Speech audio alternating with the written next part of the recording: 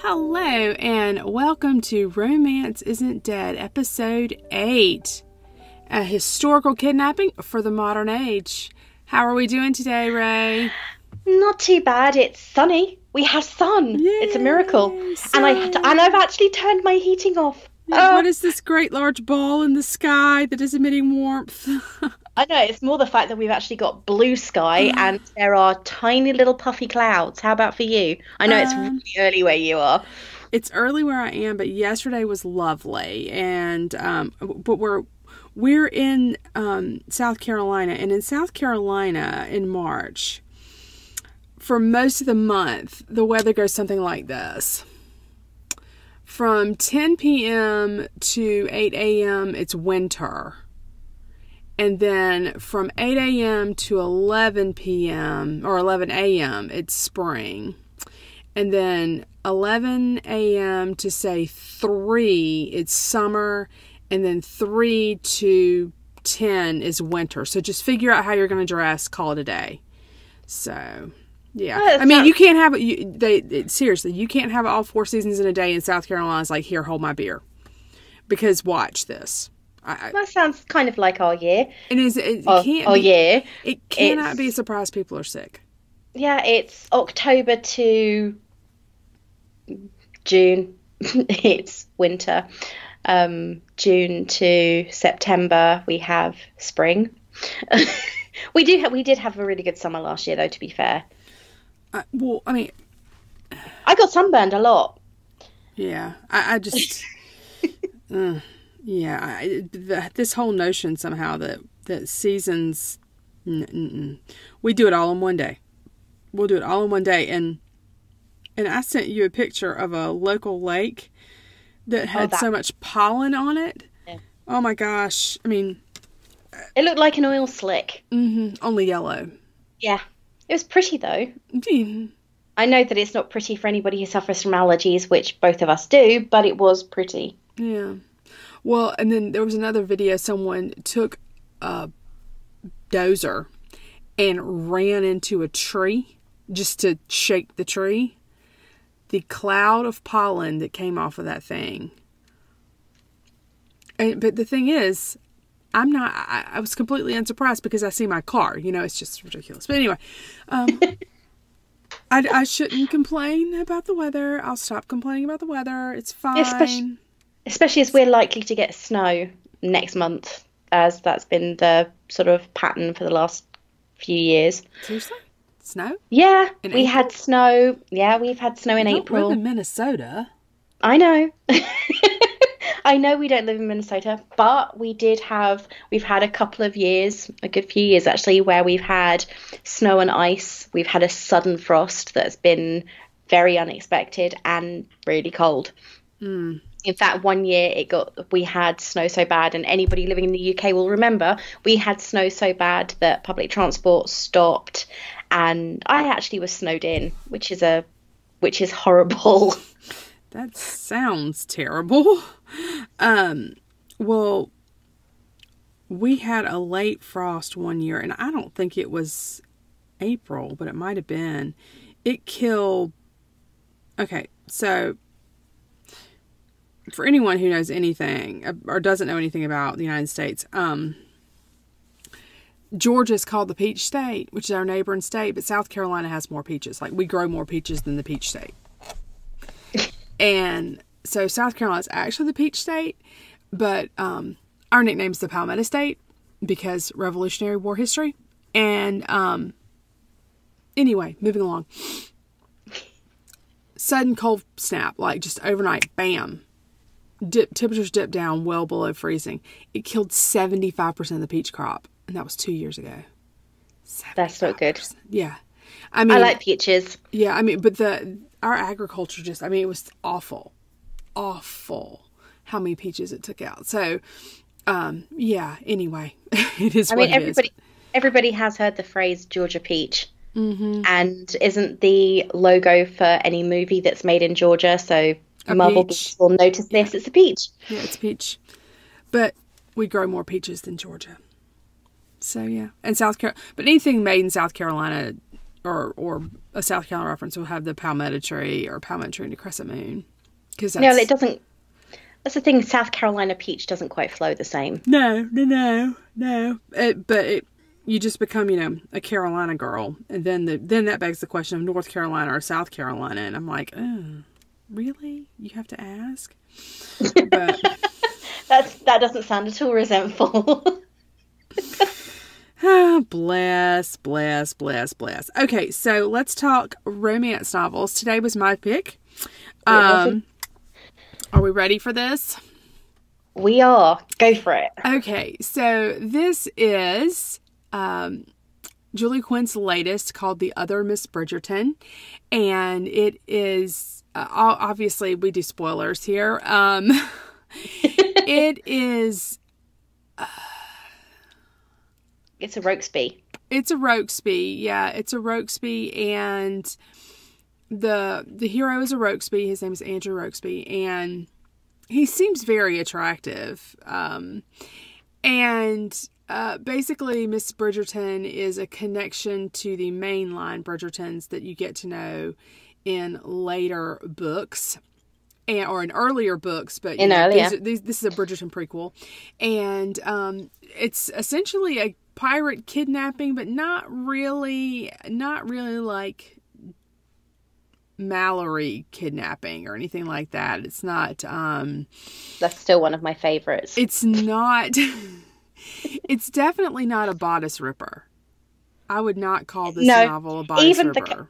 Even the covers make it very, very clear. If you look at the original cover that is on the Kindle novel, especially well over here anyway, it's um a almost a Regency style line drawing. Though this is, we have to say, this isn't quite Regency. Mm-mm, mm-mm. It's it's set in 1796, so it's post American Civil or American Revolution. I don't know what the Brits call that. What do the Brits call that when the Americans revolted and, and successfully defeated the British Empire?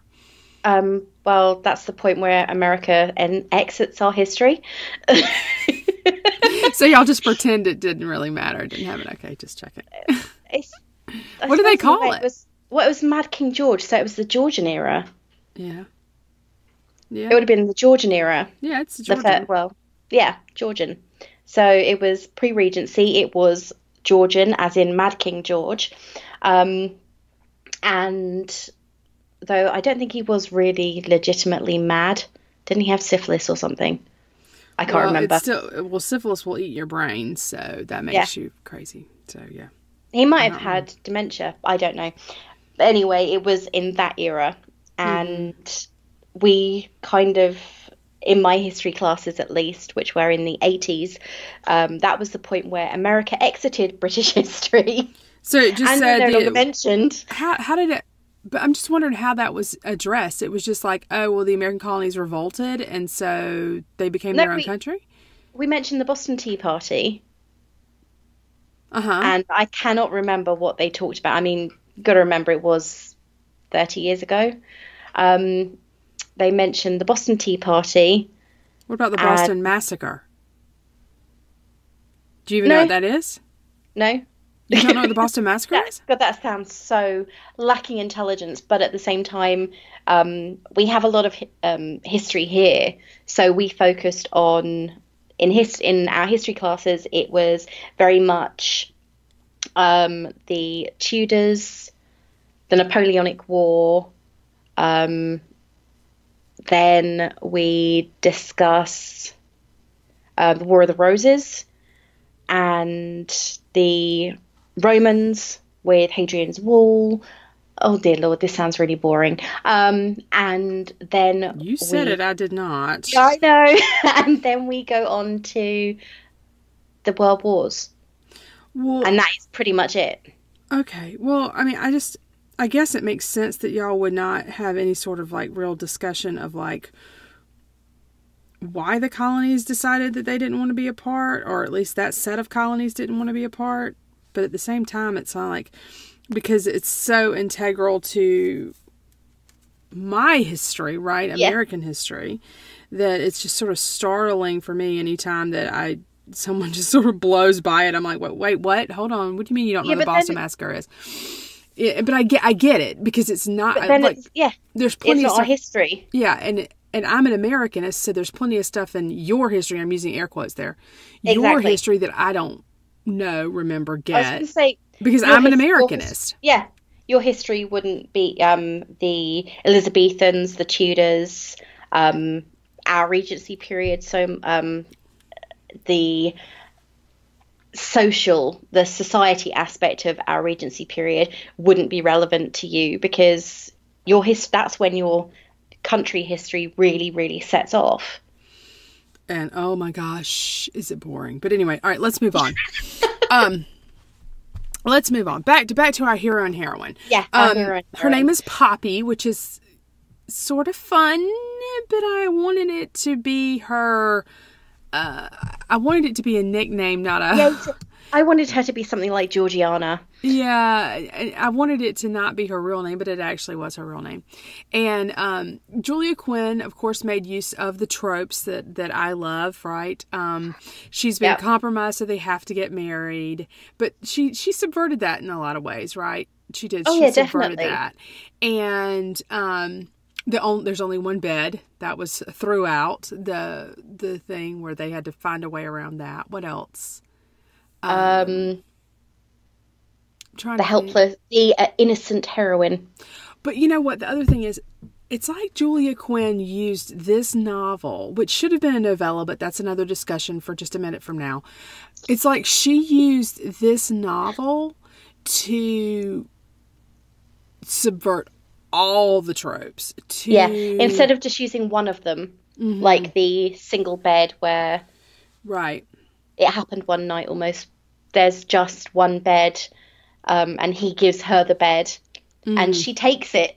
She doesn't say, "Oh, let's share it," or "There's plenty of room for you," which you'd get in so many other novels Mm-hmm. and especially fanfics. You'd get the, "Oh, I'm sure that I can trust you. You can share this bed with me." She just takes the bed.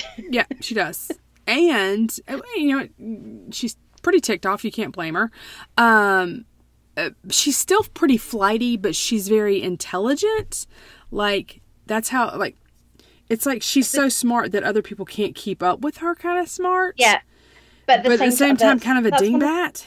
that's one of the things that I noticed. I went on from reading this book to reading a few of the others, and one of the things I noticed is it's almost all maths, Hmm.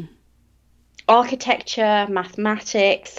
It's almost all maths, and then you've got the girls who are art, literature. Oh, following through on that stereotype of uh, girls girl are the right brain or left right, right right brain left brain. Girls are good at the art stuff. Guys are good at the um, STEM stuff. Yep. Got Yeah, it. exactly. I mean, he's got skill in, I believe, architecture. Yeah, he's he's a pirate that should have been an architect. Is what the author says. Yeah, That's, exactly. That was Poppy's internal monologue. She should he should have been an architect, not a not a, Not a pirate. Pirate, but he wasn't really because this is not you know he wasn't really a pirate. So, No, he was a he was a younger son of a noble Mm-hmm. who actually knew her family, and I mean, it really does cover all the tropes.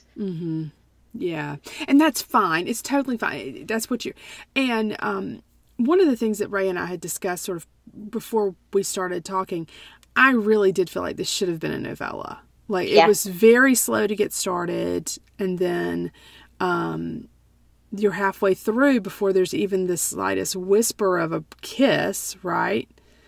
Or of attraction, Mm-hmm. or any notion of feelings. You're literally, it's actually dead on, according to my Kindle, yeah. 50% through. Yeah. There is a peck on the lips, literal peck, nothing but a brief brush of lips against lips. Right, and they and they describe it as this small kiss, instantaneous, like real- not, but it was like a, an instant is how they sort of describe it. Yeah. And then let me also say this about this uh, particular book. One of the things I did, they did spend the first fifty percent of the book getting to know one another, Yeah, that is true. which is not something you normally see in romance. Normally, romance novels have at least some elephant, el- elephant element. Element. An elephant? Are you I can talk. about. Dumbo? I can talk. pl- um, I have kids. I might be forced. No, let's not talk about that. Um, so normally romance novels have some element of of um instantaneous like oh get to yeah you, you They have there's a UST. yeah there's There's a UST. yeah but but the first 25% of the book you, you can guarantee you can almost guarantee there's going to be a kiss within the first 25% of the book. And and this just didn't happen you know? Just didn't happen. But there were some funny moments and they really did get to know one another and i did like that but it didn't make for real scintillating reading. The other thing is it is happening in a very compressed time frame but it felt like a long time. Oh god, yeah, it really did. That the first fifty, actually, I'd say eighty percent of the novel is supposed to take place in the space of four days, mm-hmm. and the way it read, I know that it was for me. It felt like it lasted about a year. It was so slow. it there felt was like they'd been on at sea for at least a month and a half yeah yeah, if not longer, and there was no. You got a lot of her in a monologue. a You got a lot, lot of of- internal monologue yeah Yeah. And a lot of her perspective on things. And he and he had that whole internal monologue thing going on too. So, and it's fine. It's it's fine. It's fine. But as you said, it was. They could have cut out probably 30% of the opening of the book and made it a novella without any issue at all. And it would have been a more scintillating read. mm-hmm. Yep. And it would have been, yeah, it would have been. It would have been.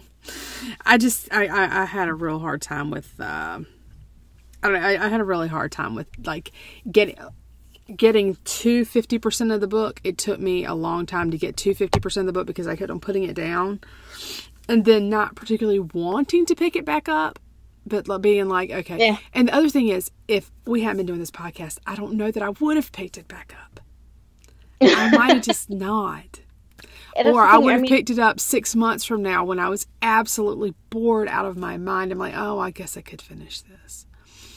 Um, because I do like to finish things, but I'm not one of these people who's compulsive that I have to finish. So, you know, I used yeah, I used to be a I have to, I have to finish this person.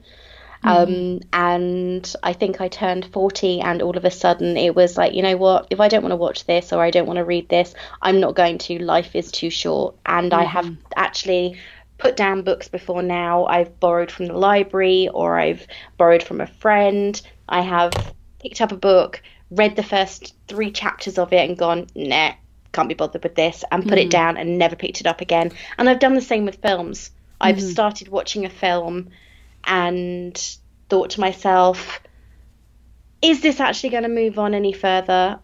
No, I don't like these characters enough, and just switch it off. hmm My Netflix list is full of films that I've done that with. yeah. So I'm not sure. Like I said, I'm not sure I would have actually finished this book if I hadn't been doing it for the podcast, especially if it had, especially because it was my pick. Um, but um, You'd have been better off picking The Duke and I. Right, but I was trying to pick something. Well, I my We thought was new. I wanted something new, and she to me was a known quantity, and I was like, oh, it won't be too bad, you know. And it wasn't that it was bad. I don't think it was bad. I just think it was. It, it just felt like it should have been a novella, and somebody told her, oh, we need you to write a novel instead. So she stacked in some filler that that admittedly lets you get to know the people better, but in the end, it felt kind of superfluous. Yeah. So- I mean, they have an entire conversation about building houses of cards. Mm-hmm. Oh, and when he gets all enraptured describing the architecture of Lisbon, I, I, sk- I'll be honest, I skimmed. oh my god, you did that. No, I have No, to I admit, mean, so like, I. I, I, and, and see, here's the thing. I got to once I was at 44% when I picked the book up yesterday to finish it. That tells you something. And it was last night when I picked it up to finish it. And I went from 44% to 100% last night. Um, but the last 50% wasn't as difficult to read. Like I could get through it much more quickly. Um, it's because things were happening. things were happening. I mean- she just wasn't this mental. And, and thank God that they didn't do this whole big thing about her journey back to England. I'd have, I'd, Oh my have God. I'd have stabbed myself in the neck with a pencil. I just couldn't. Sorry, that's so funny. I actually But- read this at work, and I think halfway through the week, I sent a message to Sally saying, "Oh my god, this literally went from zero to nine hundred in the space of twenty pages." Hmm Because all of a sudden, they are getting incredibly intimate. Mm-hmm. They get that's the thing. This is a kidnapping within a kidnapping. hmm Yep, exactly, exactly. because she gets kidnapped by the pirates because she sees something that she shouldn't. They Mm-hmm. have to take her with them because, he has to leave, massive spoiler, he's a spy for the crown. or at least a They courier, to- right? He's a courier. Yeah. Has to take something to Portugal, so she has no choice but to go with them. She's bundled Because- onto this ship in a burlap sack. And then they spend what feels like an eternity getting to know each other on the journey out there, sharing one tiny little uh, kiss. the Oh my god, that was so long. I oh didn't gosh, care about it was any like of the first two days of it were really, really long. yeah. And then all of a sudden, they get to Lisbon. She's admiring someone and imagining she's admiring this fisherman or something. He's a stevedore, basically. He's he's Yeah. a stevedore. He's unloading things in the dock. Yeah, and she's admiring his form as he takes his shirt off. So she's perving, basically, um, over this guy that she sees that she doesn't know and imagining his life. So she's a people watcher, which a lot of people can sympathise with. I'm one myself. I sit in coffee shops and do it all the time. And then Captain Well, I mean, and, and he took his shirt off in public. To be fair, I mean, he, he, yeah, to be fair, it was hot. It was Yeah. hot. Yeah. Um, she is then escorted around Lisbon by the captain, who's taken sympathy on her, but also at the same time he wants to be with her alone because he finds her enchanting. So there's no um, chaperone or anything, which Mm-hmm. there should be, given he knows who she is and the fact that she is innocent. you know, I can't. He's already compromised her anyway. Yeah, I, I mean, I'm wondering if he had, and see, we don't really get him saying like he. We got the part where he said, you know, I'll, I, I guess I could marry her if I had to, you know, like at the beginning of it. Mm.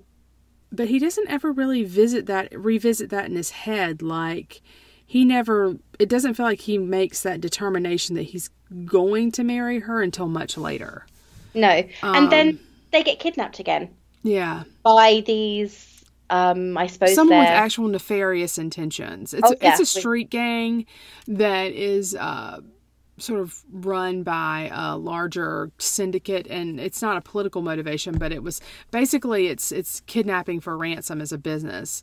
And if um, if you know anything about diplomatic stuff.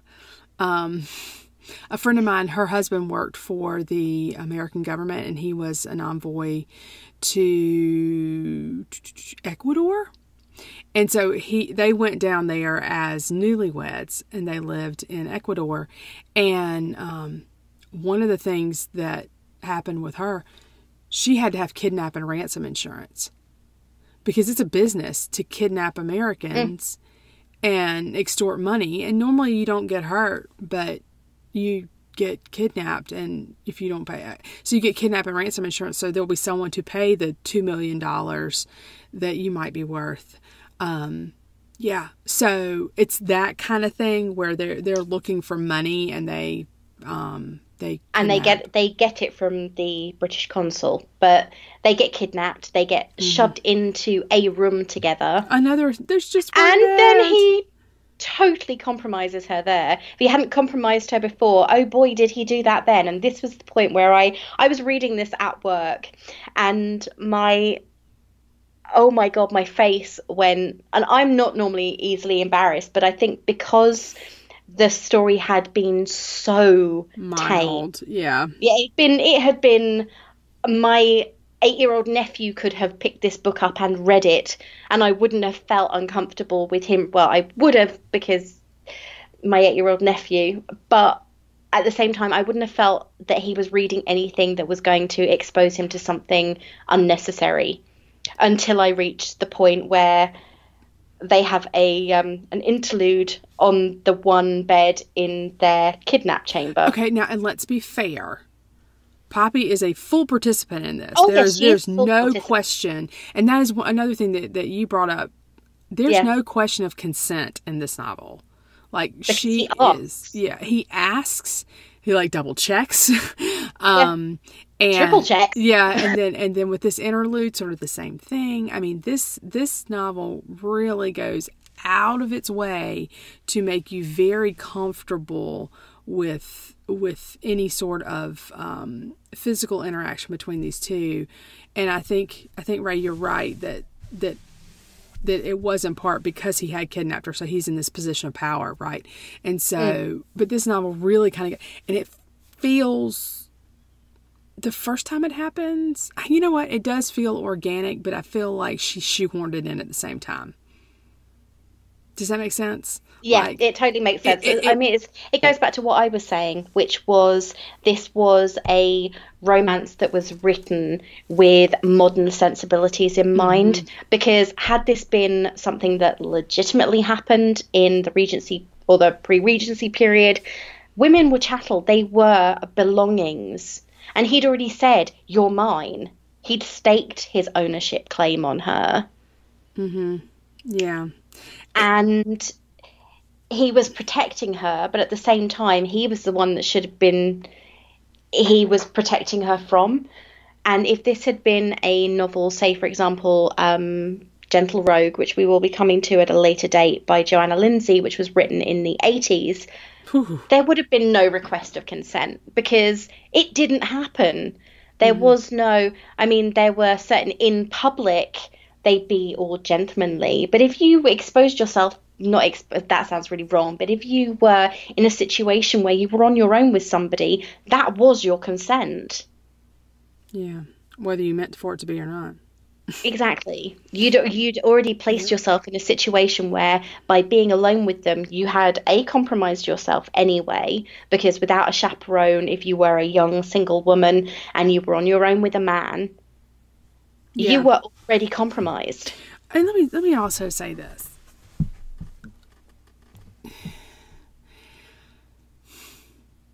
I think that there is a place for that, right? I just don't but this this particular one, it really felt like she wrote it to not have people complain that there was no consent.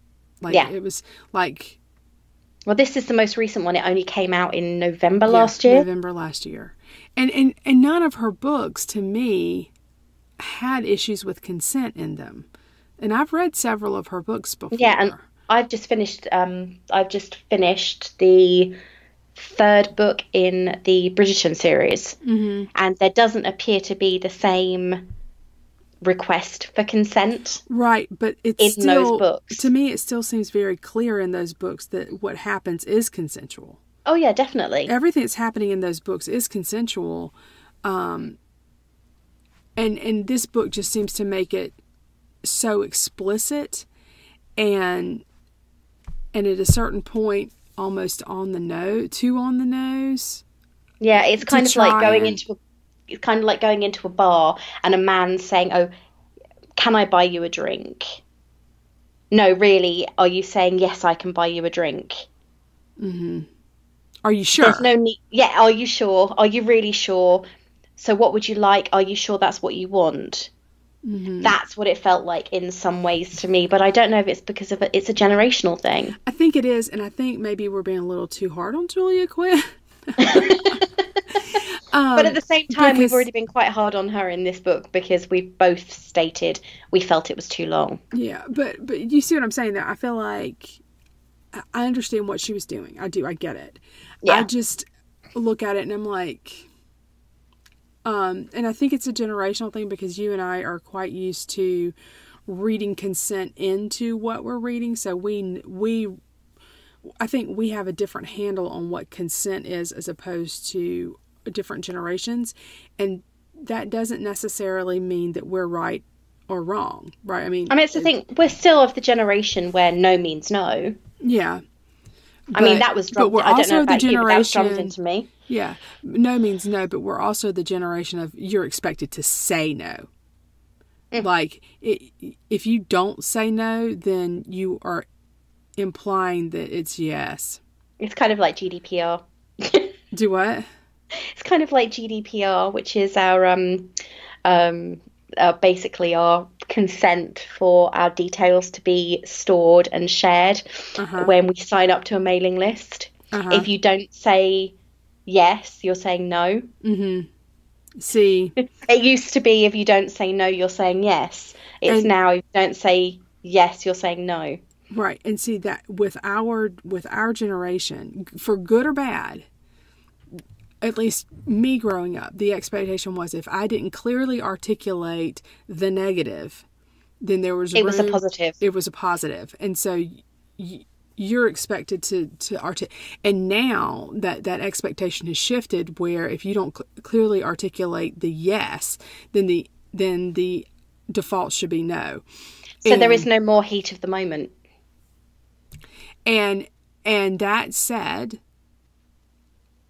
i don't think we're here to determine which is right or wrong i think i think we would both say especially in real life situations consent is absolutely necessary Oh yeah. it's just that it's just that in this book it just feels i think to our minds i think again it might be a generational thing to our minds it just feels really like hammered in and almost unnecessarily hammered in um but you know it's not bad it's not bad i don't i don't i mean i'm not mad at it i just No.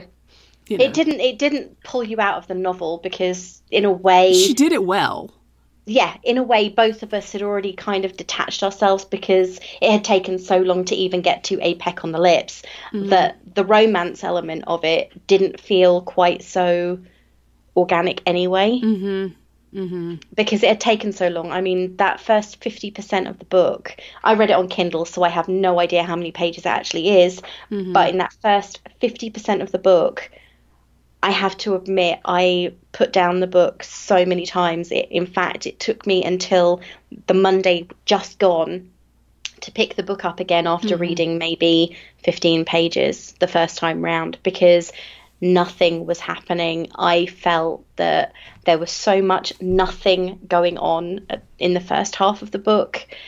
i mean they're the just getting to know each other and there's some fun the- things in there but but the second half had to be sped up and condensed so much mm-hmm. because of the first half of the book. True.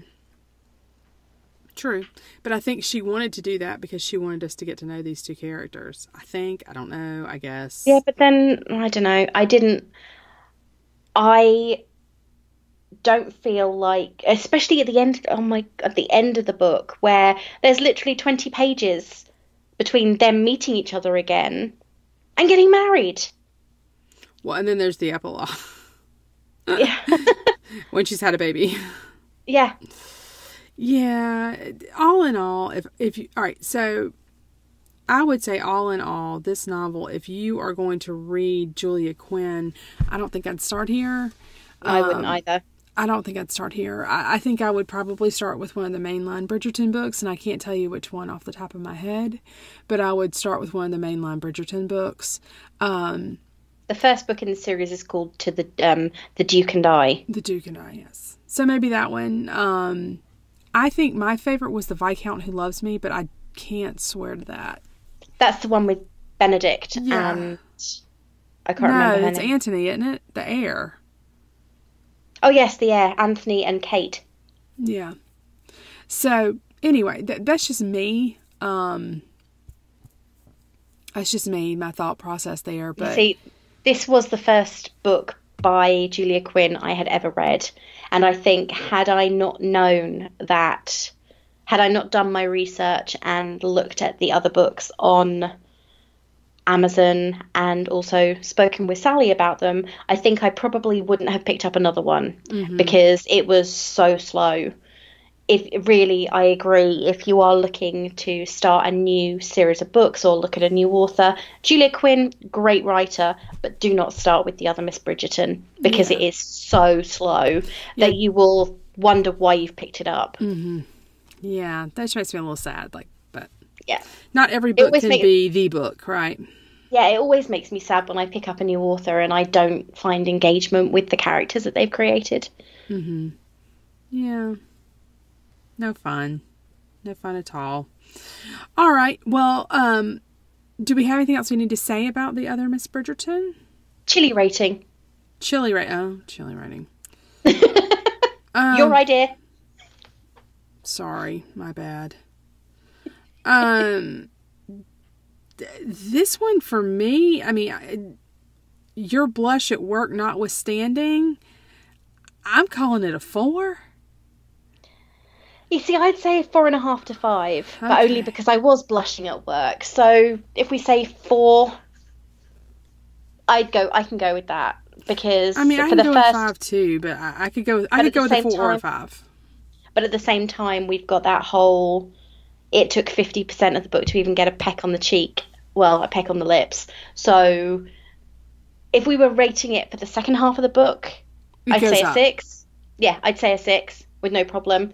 But as we're rating it for the entire book, I'd I'd go with a four because there's way too much exposition, way too much. Yeah, and you're an exposition kind of writer, so that probably drives you crazy. Yeah. For you to say there's too much exposition, holy crap! Too I, much. I love I love narrative as a writer. I love narrative. I'm not. I I struggle with conversation. hmm I struggle really bad. Well, obviously not in person, um, as you can tell, but I struggle with writing conversation and making it sound natural.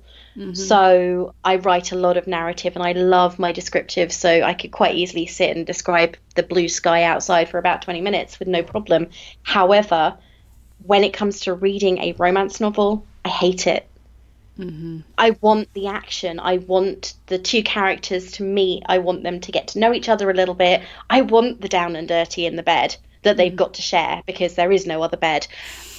But that's just how I like to read it. At the inn when it's raining outside. Yeah, exactly.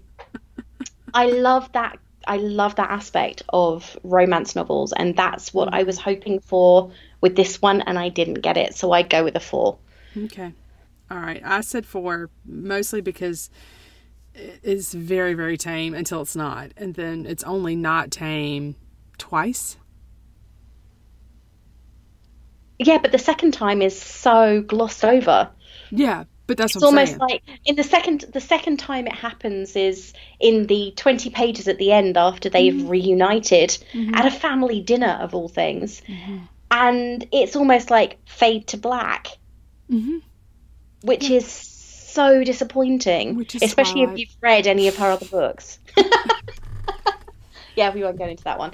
no, well, I'm, I'm not saying that as a specific, but more as like it's a more it's a very YA kind of thing. That Yeah, second scene it is is. more YA. Is all I'm saying. Yeah, although it's a little hot for YA, but it's still kind of YA. So anyway, all right. Well, if that's what we have to say, then that's what we have to say. What's our next book? Our next book is my choice, and it is one of my all time favourites. It is romance, but it's not a romance in the traditional sense that we have been reading thus far. It is what us over here in the UK would class as chick lit, and it's by one of my favourite authors of that genre. It is To the Moon and Back by Jill Mansell. Okay. Um, it is. I love this story. It is. Get your tissues out if you're reading it, not for any other reason than it will make you cry no. but it's beautiful at the same time. It's um a story of love lost and found. Oh no. And it is, it is honestly, it is beautiful. And if you haven't read it or you haven't ever come across her work before, this is a really good jumping point. It's one of the first and only books I think my niece has ever read all the way through because she's not a big reading fan and she loved it. Okay. Okay. Honestly, it's not bad. It's it's a beautiful story and I really enjoy it. So I hope everybody else does too. Okay. I will read it. You slogged through this one with me. Yeah, but so did you. to be fair, I did not know what I was getting myself in for. I was trying. I was trying to be like, okay, well, let's read a book that neither of us has ever read before, and is not. It, okay, Well, to be fair. yeah. So, and it, it wasn't terrible. All right, so I think we're done for the day then. We are indeed. All right, great. Uh, thanks for tuning in. And um, Rachel, is there anything you'd like to say? Uh, I would love to say keep on searching for your happily ever after. Indeed, and I would remind you that romance is not dead. It is alive and well on our bookshelves. Bye, y'all. Bye.